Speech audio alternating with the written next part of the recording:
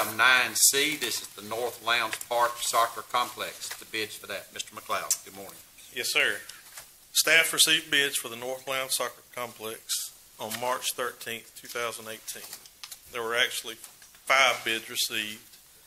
Uh, the lowest bid was Standard Contractors at six million, five hundred forty-eight thousand, six hundred thirteen dollars and three hundred sixty-five days. All bids were received in good order, accompanied by all the necessary paperwork. Staff has worked with the low bidder, standard contractors, to value engineer the project, and we were able to value engineer $714,656 out without losing any quality uh, to deal with the project. Uh, the final number as of right now is $5,833,957. Any questions for Mr. McLeod?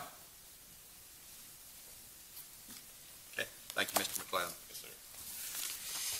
Agenda item ten,